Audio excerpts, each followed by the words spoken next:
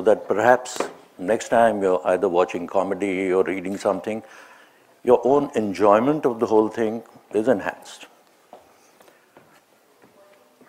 So if anybody thinks this is full of jokes, you know, you can leave. okay? So here's what I do, and uh, the cartoons that I co-create with Ajit Ninan, I write in, I write the ideas, and he illustrates them. These come out in the Times of India.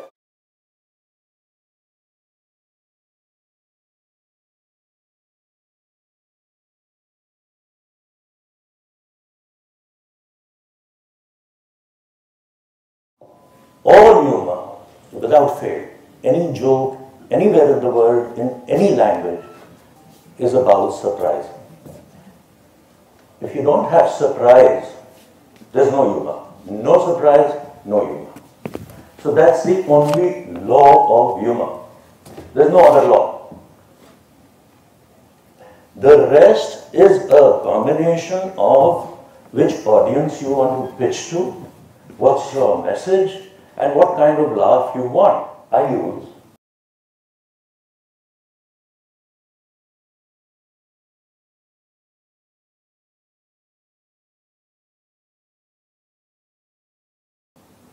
things like observational humor.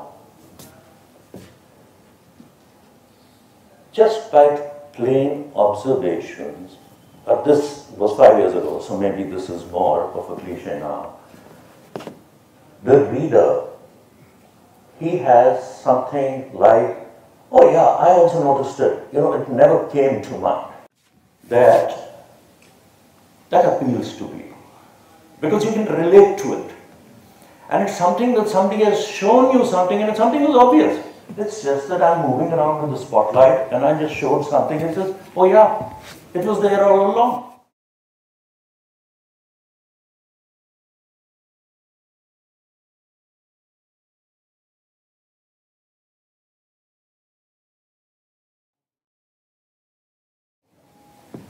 Relatability, again, it's ridiculous. That Domino's pizza guy can reach in 30 minutes.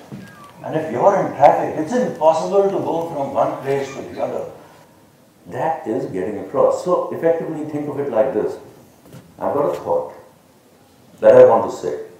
If I say it directly, it'll get brushed aside. So I'm trying to package it, get your attention, with that attention, making you smile, making the reader smile, it gets across and the message blows up in his head. If I say it directly, it won't be fun. And he won't remember it and he won't smile. It is subtle, it is subconscious. That is the attempt.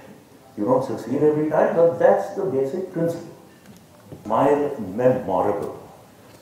A lot of people can make a lot of people smile. You know, you tickle somebody and he smiles. Somebody slips on a banana peel, he smiled. But what makes a smile memorable?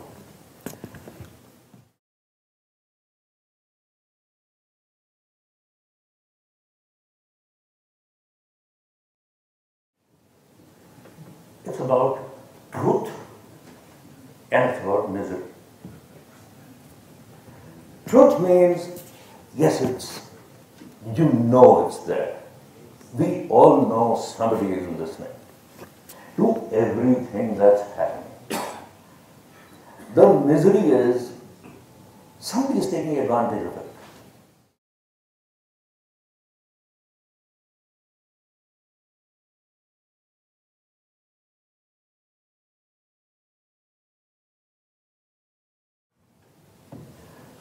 Punching up means it's good to have an enemy. In this case, the enemy is the kids. Now, everybody is at times just sick of their kids. They won't do what you want them to do, they won't listen, and sometimes, you know, it's got to be serious. Come on, it's important. Now, sometimes, in this one, for example, he says, ah, I got this tool, I got the buggers punching up to the enemy has been very effective throughout the history of humor.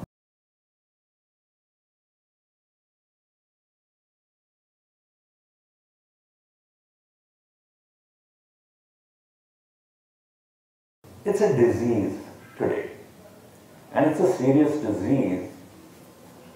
I think this is one of the causes of increasing cases of mental health today.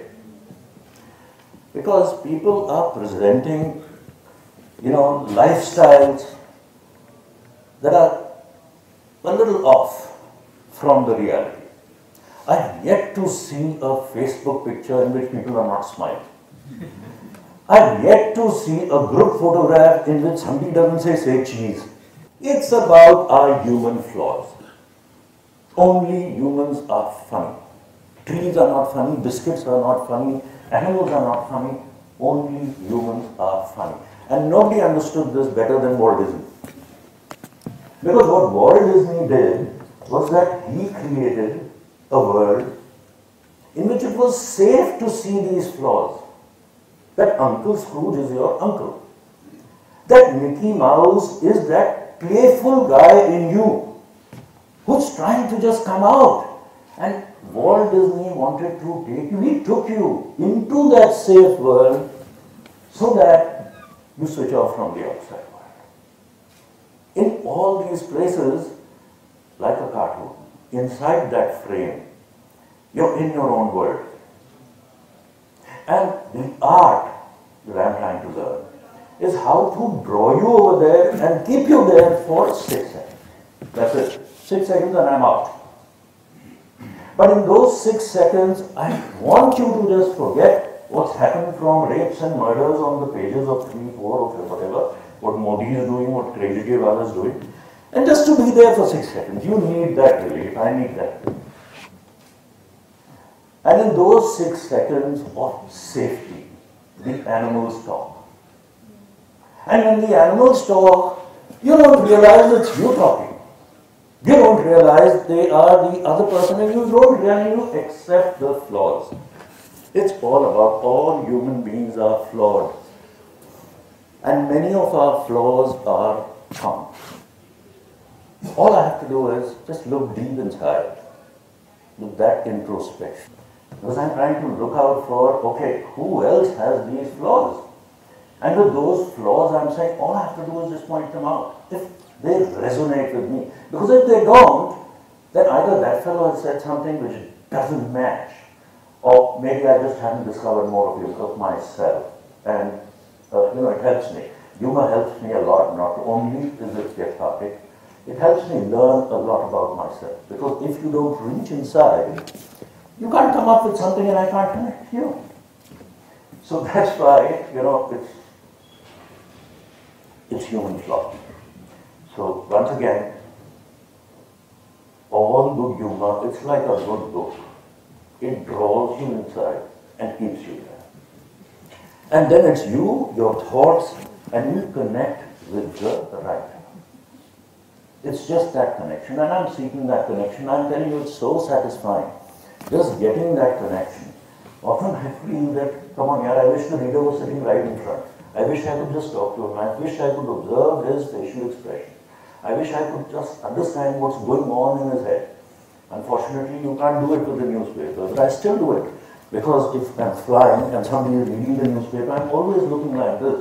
अब मेरा page आया अब मेरा page आया अब मेरा page आया let me see when he catches that क्या करता है nobody ever reads the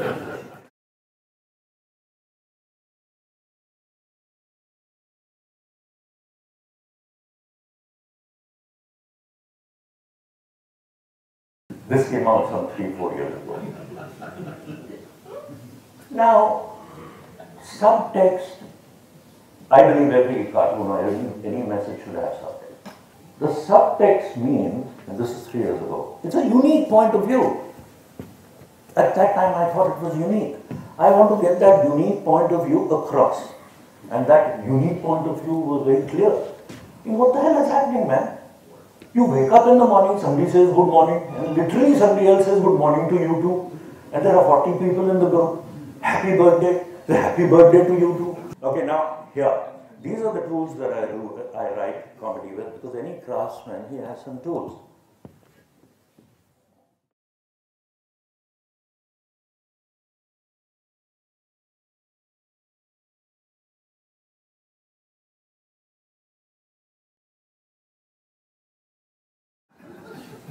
The tool here is very simple. It's the simplest and most common, commonly used tools in comedy. The analogy obviously being that without a phone you're handicapped. But to say it in a way that somebody says it's damn funny, but not realizing what has been said. That today in this digital addiction age, we're actually handicapped without a phone. That's what I want to say. And that's how I'll say it.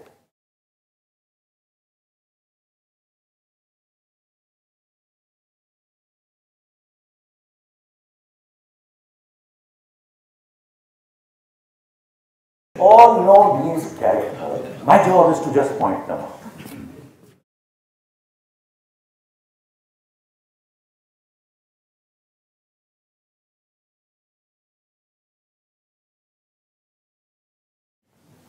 Widely used tool, hugely used tool. But I'm exaggerating. Like in any meeting, something serious is being discussed and somebody phone, somebody's phone will ring off. Thanks, nobody's phone rang just now.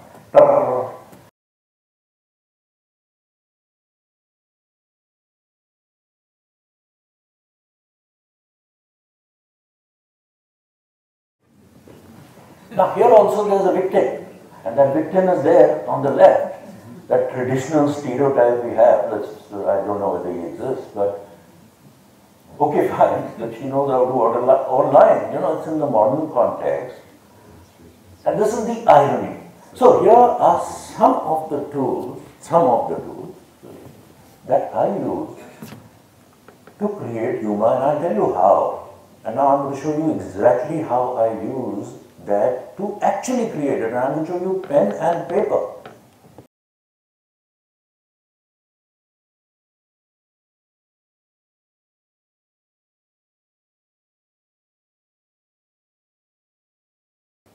Thing I look for is what's the pain and what's the misery? Yes, I checked. Sorry, the checklist is crossed. Pain and misery.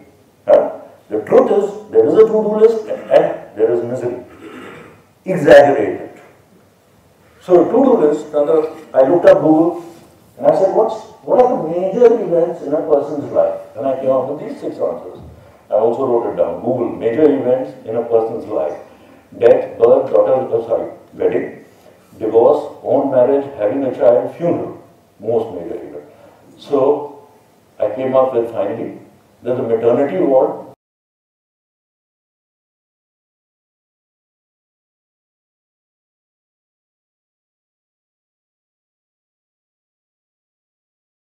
And the dad, who's a millennial, is coming out and he says, some experience, can't wait to scratch it off my to-do list. Now this is joke one of the day. And I have to write 20. That's my target. Every day I have to write 20. I don't reach it many times, but at least that's my target. Okay? Because if you write 20, you come up with 5, 4, 3 good ones. And it's all a numbers game. See, any good thing you do, it's a numbers game. But if you don't play the dice, you're never going to hit them. So you have to keep writing. And to do that, you have to get yourself in a playful mood. So then I started playing around with analogy. In analogy, let's go on to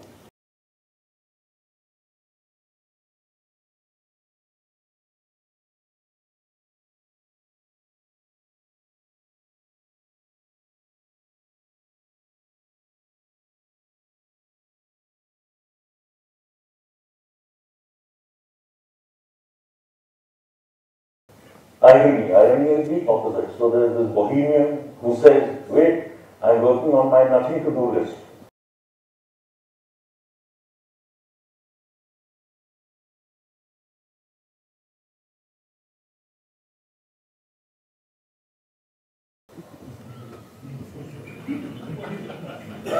so then match that. So basically what I'm doing is I'm taking each tool and saying, can I write something using this tool? on Madcap I came up with there's an Egyptian mummy and the archaeologist says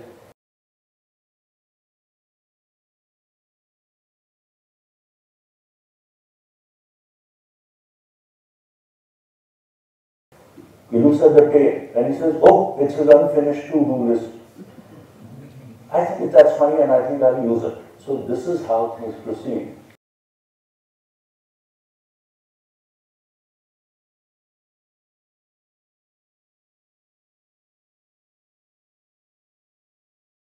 A good piece of humor is like a puzzle. For that two, three seconds, the reader has to solve it in his head. Because you have to engage the reader. Yeah, it's like a crossword. It's like a Sudoku. Till you solve the puzzle in your head, you won't be involved. See, what I'm trying to tell you, like all crafts, you know, subject, art crafts or whatever, they're pretty intricate. It's taken me five years to maybe learn 5%. It's taken me five years to learn 5%. And, but what I've learned in this is that there are so many little pieces, but it comes down to the same thing. It's less about the message, it's less about the craft, it's less about the humor. 90% is about the reader. You have to be able to understand the reader's mind. That same joke which works over here will not work in other places, with other. Now can I communicate that to you and to tell you, yeah, mere ko bhi ho hai. That's all I want to do. Later if I can do it in a funny way, the funny way so can you understand what's happening? How the message is going from this feeling, packaged it in a black box and exploding in your head. That's what I need to do. And that's my craft. It's literally a statement. A humorist just puts down a statement. And yes, I have basically practiced my craft. And with that craft, I can do it slightly better than, uh, than the other person. And I have to do it in a way that grabs your attention. Now my big issue is, which is a big issue for all of us, how to stop and avoid becoming irrelevant. So I do a lot of hard work early in the morning. I've taken a lot of private tuition online, some very expensive private tuition also, uh, some good humorists in the US. Read a lot of books, study of comedies, and I keep looking out for trends. Read a lot whether it's New York Times, New Yorker, cartoons or whatever, and try and see not only why are they good, but who are they appealing, appealing to. So you try to find a mind map of yourself, uh, of the world, and that is what it means to not become a irrelevant. If you can relate to the world, you don't need to do anything. But you need to be able to see if something is happening, okay, where does this fit in?